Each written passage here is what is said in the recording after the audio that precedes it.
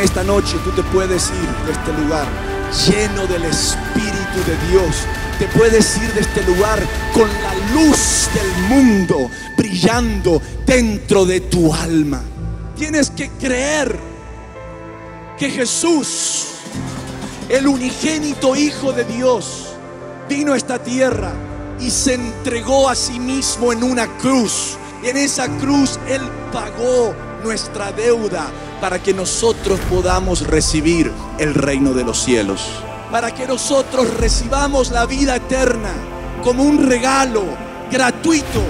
Fue pagado ese precio con sangre santa del unigénito Hijo de Dios. Más de 20 años sufriendo los oídos por sordera y lo escucho. Ahora escucha por los Sí, Señor.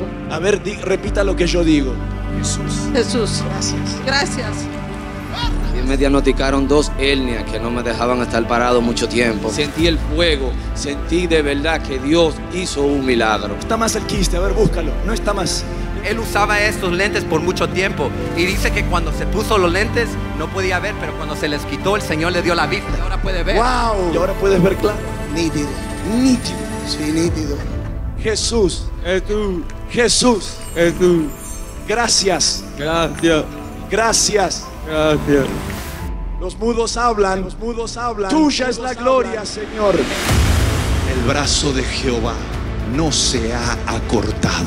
El pecado nos separa de Dios. Y si tú estás dispuesto a arrepentirte y a confesar tu pecado y a cambiar tu manera de vivir, Él va a extender su diestra te va a tocar.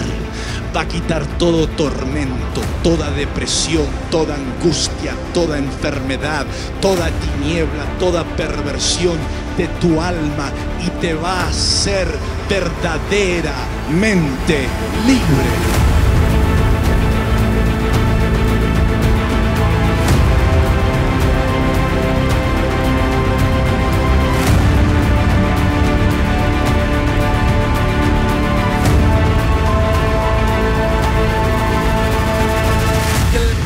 Requerimiento conforme a nuestro Dios para recibir el reino de los cielos y la promesa de la vida eterna es el arrepentimiento. El arrepentimiento te lleva a renunciar el pecado y vivir para Dios. Yo tenía un dolor muy fuerte que no podía respirar, pero desde que usted dijo de los pulmones, yo comencé a respirar más fuerte y me sentí viva. Y cuando usted me llamó, ella me estaba llamando que estaba viendo la transmisión. Y Dios la tocó y y está sana. Mire cómo está, está parando. Se fue el luto, se fue todo porque Dios lo hizo.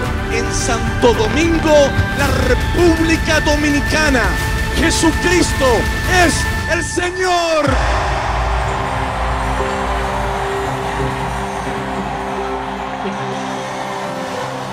Dios